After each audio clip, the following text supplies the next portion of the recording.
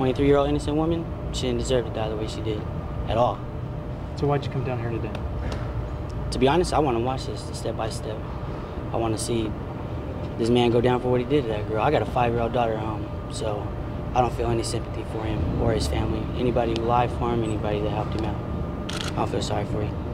How did you know Mr. Gilley? I've known him for 20 years. He was my best friend. Your best friend. Mm-hmm. His tr- story's changed so many times. I mean, I don't see how people can sit back and look like, if this guy's innocent, why is he continuing to lie?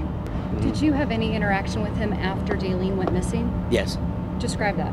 Uh, he was. Uh, I had been. He had been staying in my house for a couple weeks. You know, just to get away from it all. People coming by his house, bugging him. You know, 20 years. I, you know, was trying to help him out. How's his demeanor? Cool, calm, and collected. Really. He wasn't worried. That's what the eerie part is. Just cool, calm, and collected. Wasn't worried. Not at all. It didn't seem like it at all. I sat him down one night and I asked him, "Did you have anything to do with it? Do you know what happened to her?" And he said, "No, I don't know what happened to her." You know.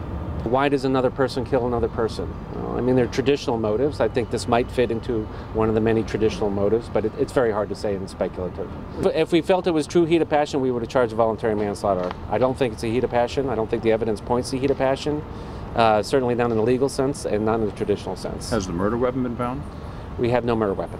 We're well within our right to charge uh, personal use of a firearm. We have ballistic evidence. We don't have the actual, we have not confirmed that we have the actual weapon itself, but there's ballistic evidence. We have um, a series of facts, forensic and otherwise, that would uh, allow us to deduce one fact, and that the fact is that she was raped. We'll be put to that test at the preliminary hearing and have a judge determine whether those circumstantial evidence shows that or not.